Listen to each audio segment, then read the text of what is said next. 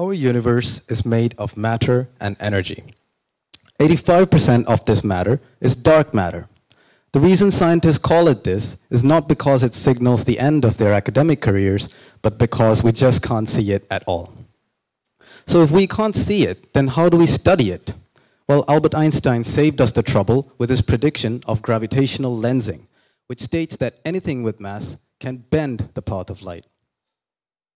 Imagine you were looking at two galaxies through a telescope.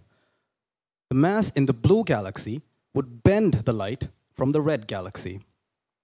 If you traced back the path of the light rays, you would see the red galaxy in these positions. The problem is, conventional dark matter models cannot explain the brightness or position of these images. So a new dark matter model was proposed, wave dark matter. It behaves like waves on a beach.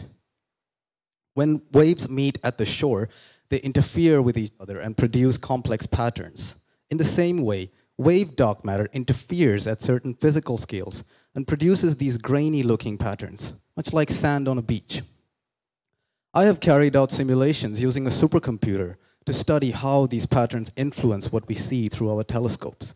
Simulations are the only way to probe this area of astrophysics because we just can't create a galaxy in our labs. My research has shown that patterns like this can cause significant differences to the image, shape, position, and brightness. And they are in better agreement with observations.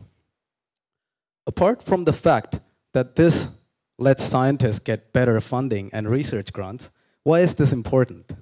First, accurately knowing the position and properties of these images allows us to study distant, hence very young galaxies.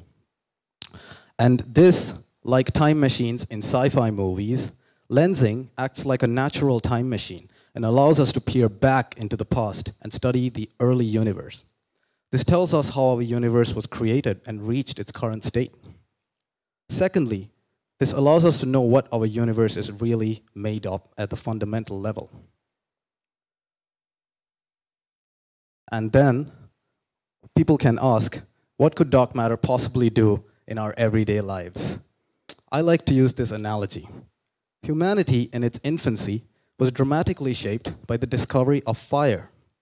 I like to think that dark matter would be the next ultimate discovery to propel humanity into an advanced civilization that is capable of expanding beyond Earth. Thank you.